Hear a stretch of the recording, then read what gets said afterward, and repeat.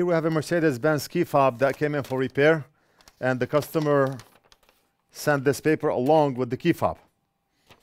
And that's what's on the paper. He's pointing to a damaged chip on the top, on this side, right here on the top. And he wrote that he does have a spare. The fob is not opening, closing. It does turn the vehicle on, and he wants it fixed. All that good stuff.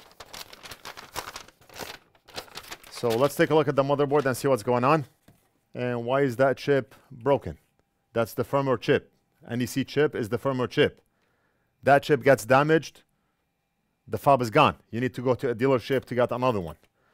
But the customer did mention that he's able to open the vehicle. I mean, he's able to turn the vehicle on, but he's not able to lock, unlock, and use the panic button.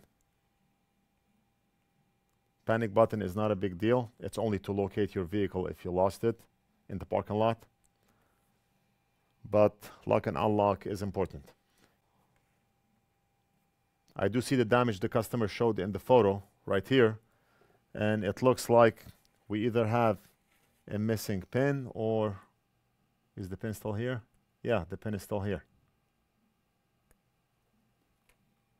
The chip is broken from the side and the pin lost the connection with the pad. Nice. The pin is broken.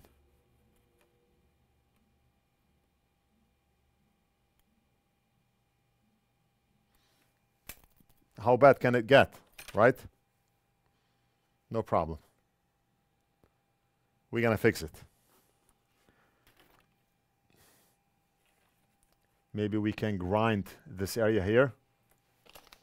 Or maybe we do not need to grind. I do see a small piece of copper left on that pin.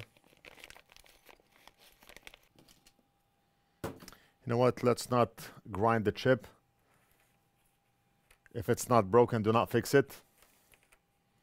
It is broken, but we can fix it without grinding.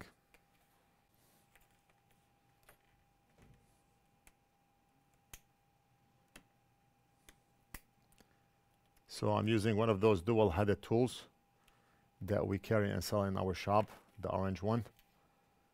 And the package comes with six different types of double-headed tools that you can use for multi-purpose.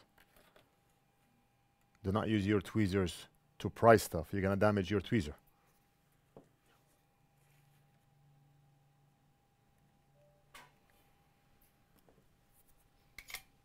Let's pre-apply solder. We're going to be using the NF Dot Mini pen.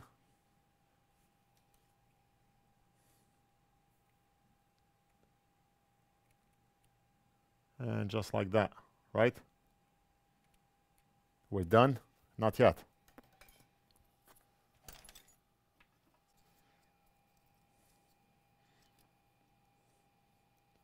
Like my kids, are we there yet? Not yet. Are we there yet? Not yet.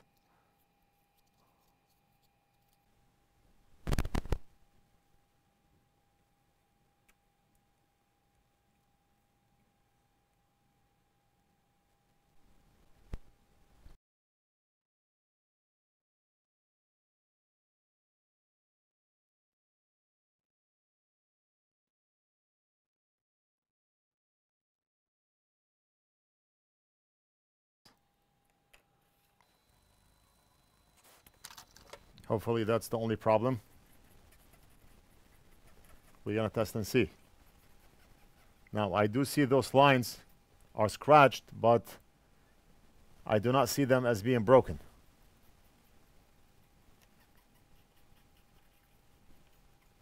And let's visually inspect the whole board. Make sure everything is there, all the components are present.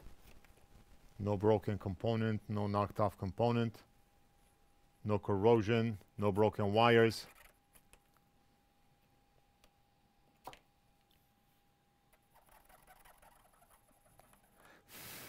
So the board looks very clean.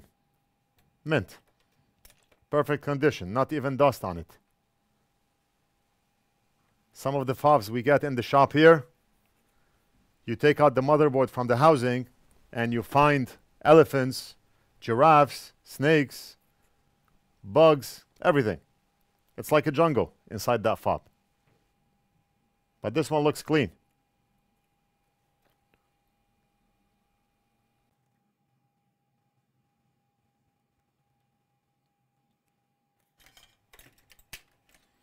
And I do not have my fume extractor on. It's only one pin. How bad can it be?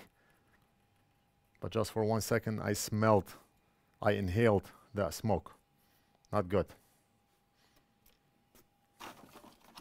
Even if it's for one second, do it. Turn the fume extractor on. I should lead by example, and I failed.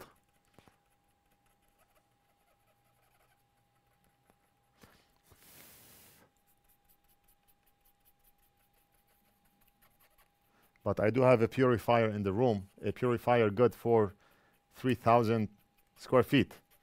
And the room here is what? Like 16 by 16.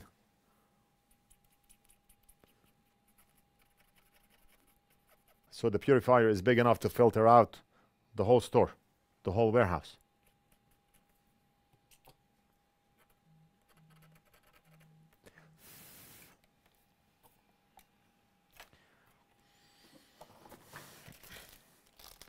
So I grabbed the customer's housing, the battery holder, and some batteries inside. I want to measure to see if the batteries are good before we measure, before we test. Meter in voltage mode. And how many volts do we have? 6.5. Perfect. Batteries are good. Are we going to get a light when I press on the lock button, the unlock button, trunk button and panic button. And yes, yes, we do have a light. We do have a light. I'll show you. Okay?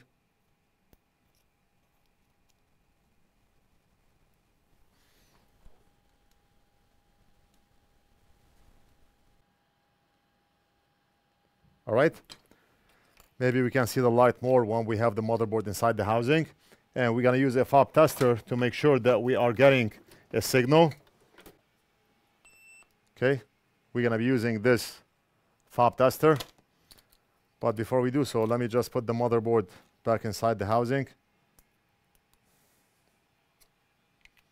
And I can tell the fob housing is not original, but it doesn't matter.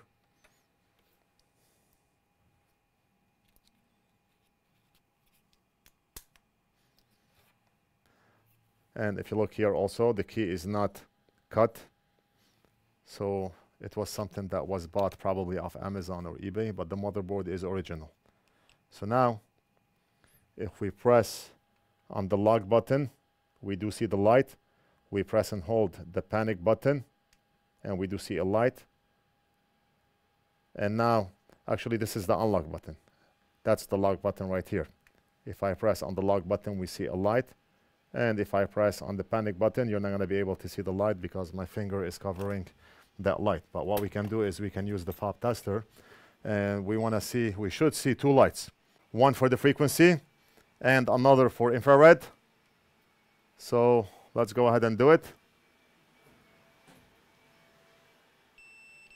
Two lights. Two lights. I'm going to press on the lock. We see two lights.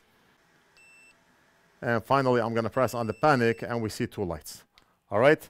So the fob is fixed. Short video, I know. What can you do? I hope you enjoyed it. Let me know what you think. Leave it down in the comments. Don't forget to like and subscribe and we'll do something else in the next video.